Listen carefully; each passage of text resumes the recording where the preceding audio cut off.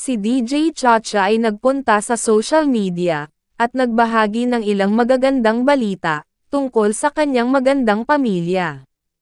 Inanunsyo niya na ipinanganak niya ang kanyang ikatlong anak, pagkatapos ng 36 na linggo ng pagbubuntis.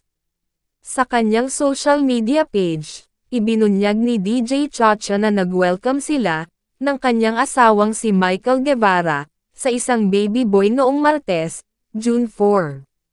Sa kanyang post, ibinahagi rin ng prominenteng DJ, ang isang heartwarming photo, na nagpapakita ng sulyap sa bagong silang na sanggol, na nagngangalang Santiago Micael, 5.01 AM, 36 na linggo, dalawang araw.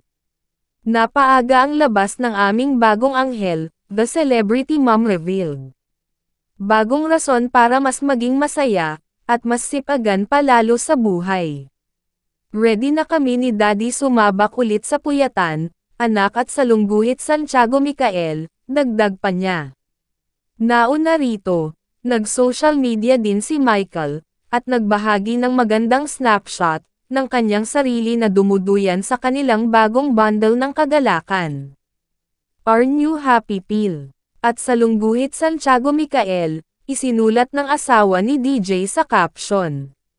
Si Zarina Maribalbo Guevara, kilala rin bilang DJ Chacha, ay isang Filipina radio disc jockey, broadcast journalist, at artista.